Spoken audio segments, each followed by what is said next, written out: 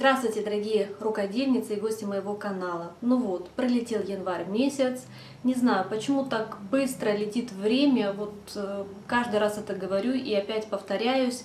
Только успеваю как бы отмечать у себя в своем журнале, что вот снять отчет за месяц. Ну, что делать? Э, январь подошел к своему, почти подошел к своему завершению. И я хочу показать мои итоги этого месяца. В этом месяце основным моим процессом был петух. Ну, как вы знаете, вы меня поддерживали, вы наблюдали за его э, отшивом, за продвижением этого проекта. Это петух от Custom Crafts. В конце декабря, после того, как я завершила э, процесс от э, чарівной мыти чай с клубникой, я приняла решение, что я возьму основным процессом какую-то какую-то одну работу – и это был петух. Я его поставила на свой станочек и усердно над ним работала, стараясь не отвлекаться на другие процессы.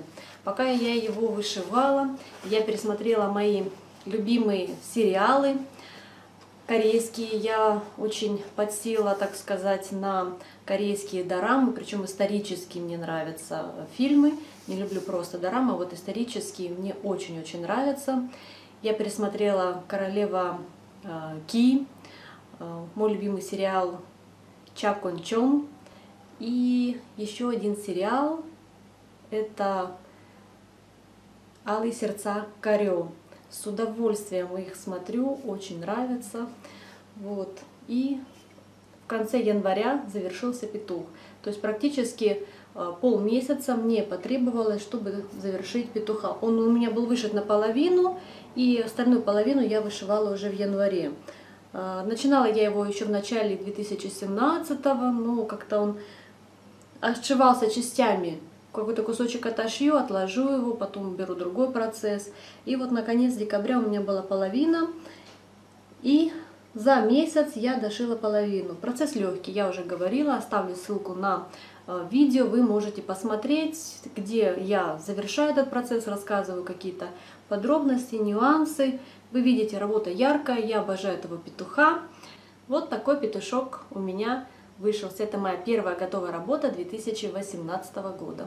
В январе я получила подарок от моей рукодельной феи, скажем так, крестной рукодельной феи, которая мне уже второй раз присылает очень много интересных наборчиков. Я выбрала один наборчик, который я хотела прям сразу начать, он небольшой, и он будет у меня отдыхалочка, он и есть у меня отдыхалочка. Как я говорила, это без корню от Риолис.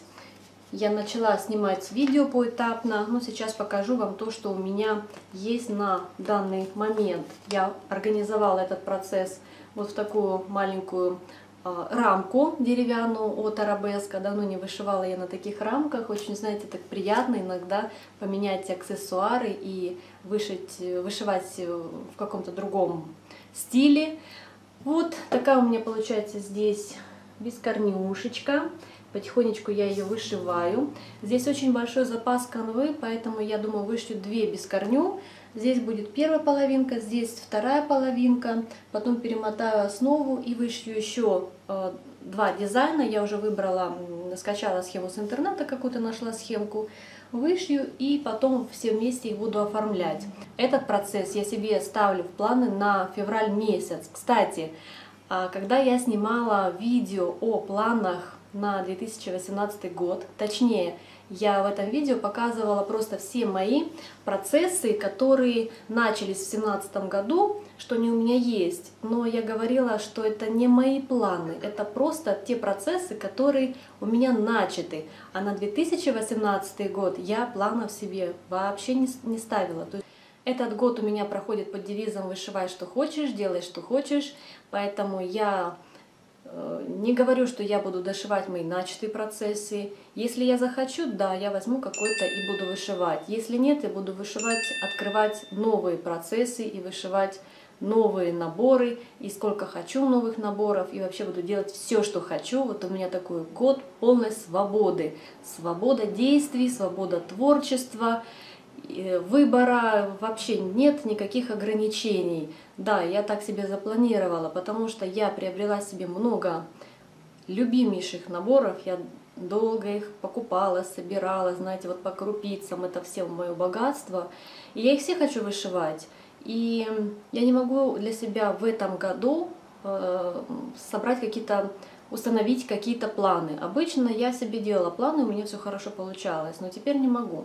Поэтому мне в этом году хочется свободы.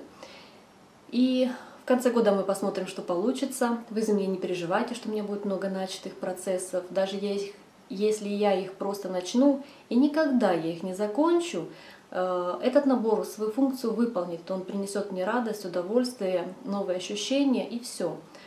Вот так поменялось в этом году мое мнение. Поэтому будет очень много всего интересного на моем канале.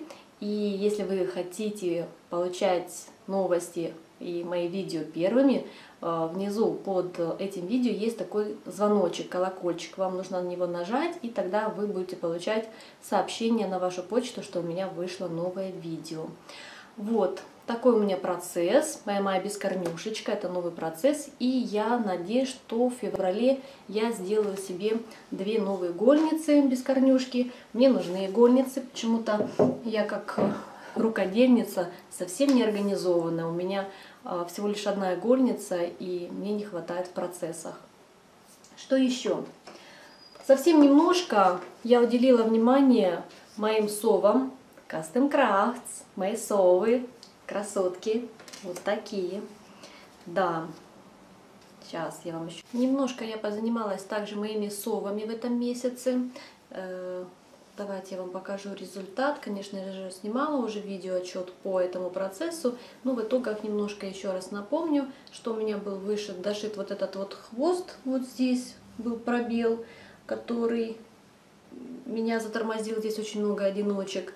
И э, вышелся вот такой вот кусочек здесь. Видите, у меня очень много припарковано ниточек.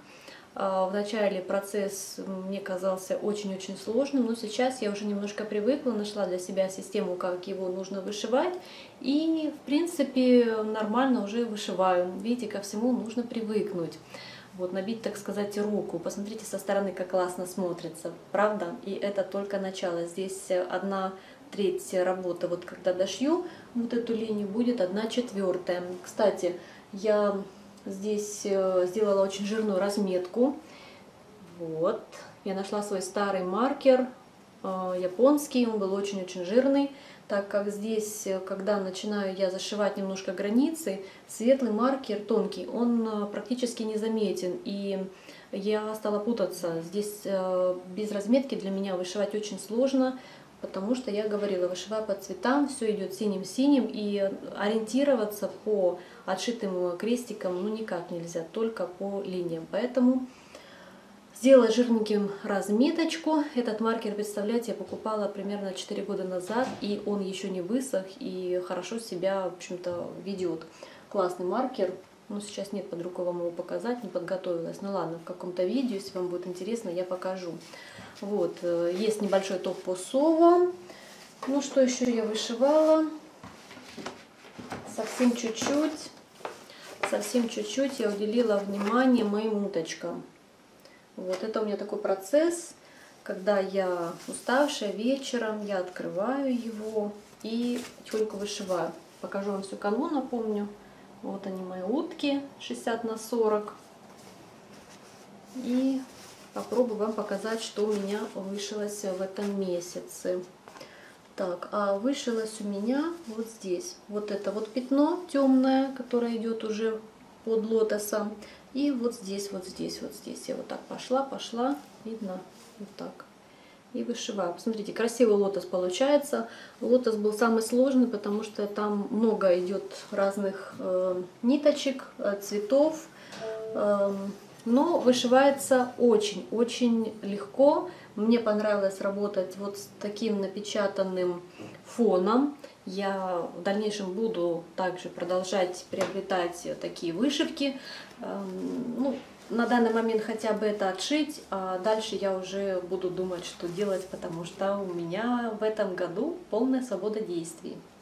И это все мои процессы января месяца. А, особо больше я ничем и не занималась. Э, все свое внимание я концентрировала на моем петухе от Custom Crafts. И мне понравилось э, строить таким образом свою работу. В феврале месяце тоже у меня будет основная работа. И будет э, мои бескорню как отдыхалочки. Небольшой маленький такой спойлер. Я уже начала один процесс. Он абсолютно новый. Э, оригинальный, сложный, масштабный. Для меня это ну, новиночка. Я думаю, для YouTube это будет э, по большому счету тоже новинка. Мало кто отшивает эти наборы. Вот, но ждите мое следующее видео. Там я снимаю все поэтапно, подготовку, начало, первые впечатления, какие-то продвижения.